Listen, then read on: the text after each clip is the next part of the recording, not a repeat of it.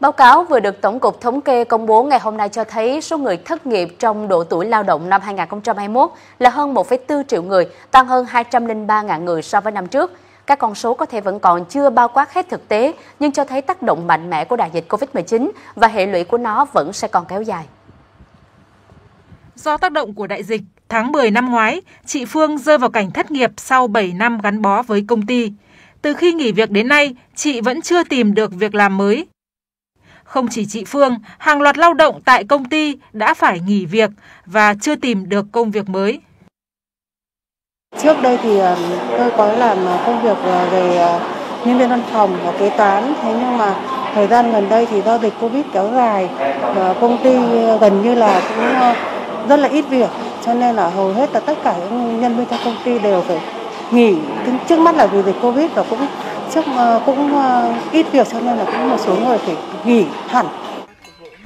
Theo Tổng cục Thống kê, mặc dù đã có các chính sách chủ động thích ứng linh hoạt trong phòng chống dịch, hỗ trợ phục hồi phát triển kinh tế xã hội, nhưng tính chung năm 2021, thị trường lao động vẫn còn gặp nhiều khó khăn, với tỷ lệ thất nghiệp trong độ tuổi lao động là 3,2%, cao hơn so với năm trước. Trong đó, khu vực thành thị vượt mốc 4%, tỷ lệ thất nghiệp của thanh niên 8,4%.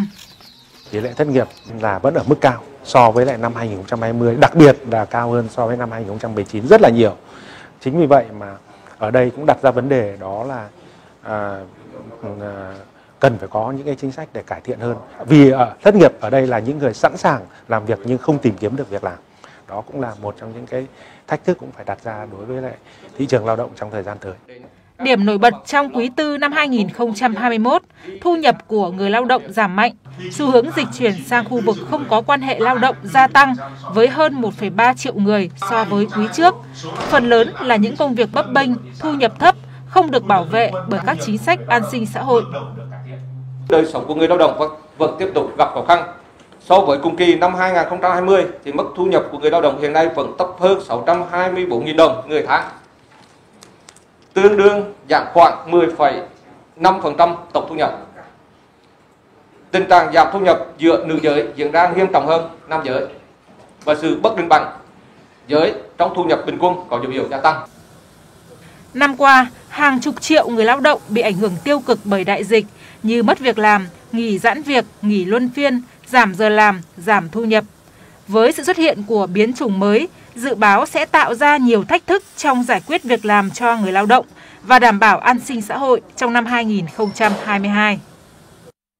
Cần kéo dài thời gian ưu đãi cho doanh nghiệp, không nên kết thúc ưu đãi vào năm 2025 vì thời gian quá ngắn không thu hút được đầu tư vào Cần Thơ. Đó là những góp ý của các đại biểu trong buổi thảo luận tại tổ vào chiều nay về dự thảo nghị quyết của Quốc hội về thí điểm một số cơ chế chính sách đặc thù phát triển thành phố Cần Thơ.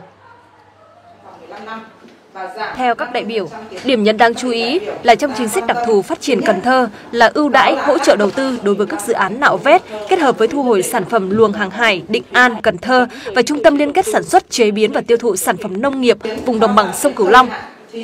Thiết lập được cái chuỗi cung ứng, tạo điều kiện để hàng hóa nông sản được thông suốt trong ờ, tất cả các cái khâu từ cái khâu sản xuất, chế biến, thu hoạch, bảo quản, vận chuyển, rồi ờ, phân phối và xuất khẩu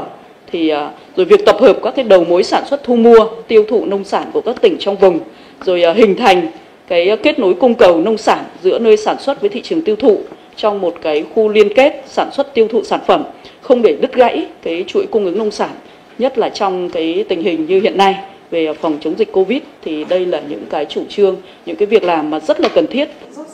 Tuy nhiên, các đại biểu cũng nhìn nhận, nếu nghị quyết này quy định các ưu đãi chỉ nằm trong thời gian thí điểm đến năm 2025 thì sẽ không thể thu hút được doanh nghiệp đầu tư vì hoàn thiện xong giấy tờ thủ tục cũng sắp hết thời gian ưu đãi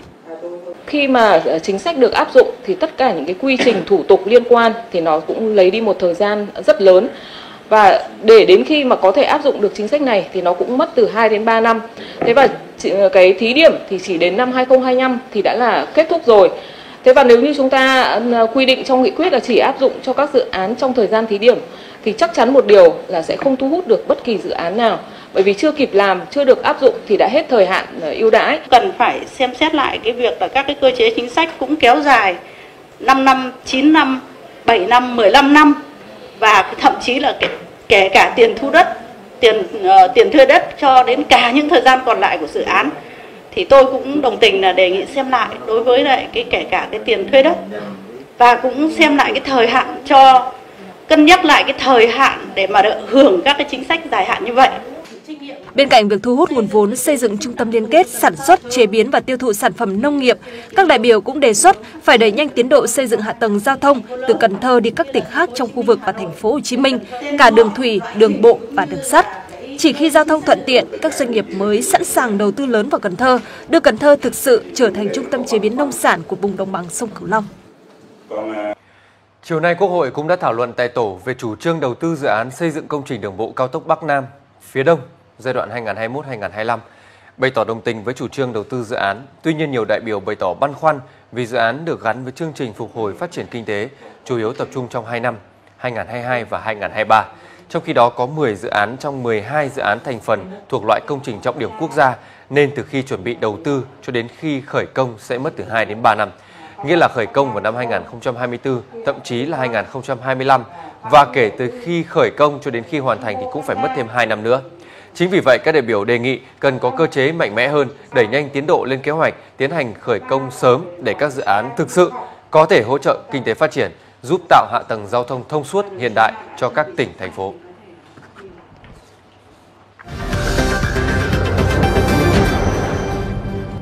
Tiếp tục với những thông tin đáng chú ý khác. Năm 2022 cần giảm sâu cả ba tiêu chí về số vụ tai nạn, số người chết và bị thương do tai nạn giao thông, kiểm soát chặt chẽ người và phương tiện tham gia giao thông, không để làm nguy cơ cho dịch bệnh bùng phát. Nội dung đáng chú ý này được đưa ra tại hội nghị trực tuyến toàn quốc sơ kết công tác bảo đảm trật tự an toàn giao thông năm 2021, triển khai nhiệm vụ giải pháp trọng tâm năm 2022 diễn ra sáng nay ngày 6 tháng 1 tại Hà Nội.